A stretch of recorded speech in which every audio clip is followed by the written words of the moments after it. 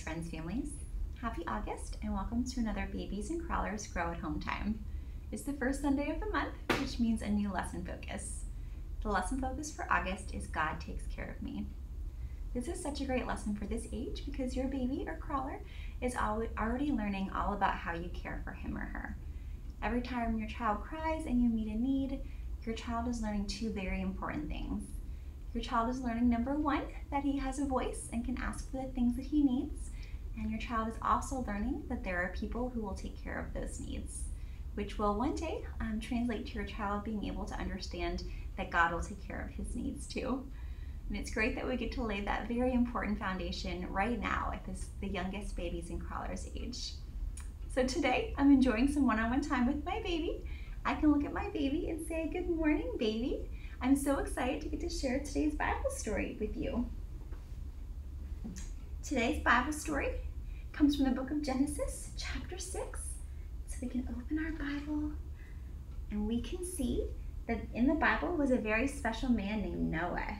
And God loved Noah very much, and Noah loved God very much. And because of that, God took care of Noah, and God also took care of the animals. Let's sing the song to the tune of the farmer in the dell. God took care of Noah. God took care of Noah. God took care of the animals too. God took care of Noah. Great job. It's fun to sing songs like this while you're changing your child's diaper, feeding them, or doing any daily activity.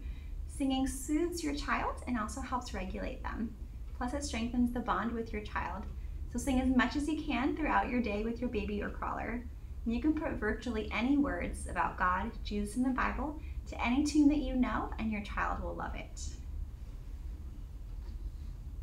Today's Bible thought is God is good to us from Psalm 71 3. Let's say that together. God is good to us. Psalm 71 3. So I can say to my child, God is so good. He gives us the things that we need, and we can trust God and we can thank God for, for taking care of us and giving us what we need. As you go about your week, look for opportunities to remind your child that God is good to us. Maybe write this verse, Psalm 73 1, on a note card and put it on your refrigerator. And when you see it, it will remind you to share that verse with your baby or crawler.